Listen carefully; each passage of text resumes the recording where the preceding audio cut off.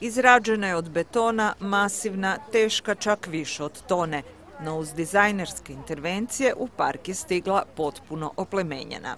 Boje su definitivno smišljene kako bi dobro utjecale na korisnika toga parka, a i one koji koriste klupu. I nema nekog razloga e, zašto su geometrijski oblici, oni su samo abstrahirani valovi i nečega što se, što se kreće i ide dalje.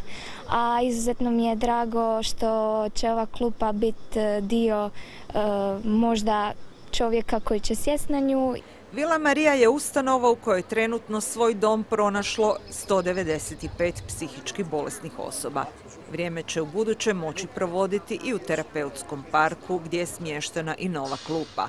Ovdje su već učinjeni i drugi zahvati. Pa smo već napravili i taj ekološki vrt koji je sastavni dio terapijskog vrta.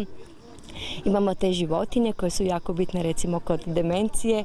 Radimo vrtno jezerce, mediteranski vrt, voćnjak, jednu staru kapelicu. Nova klupa u parku dar je pulske tvrtke Vibrobeton, a donacija je ostvarena posredstvom Pulskog Lions kluba.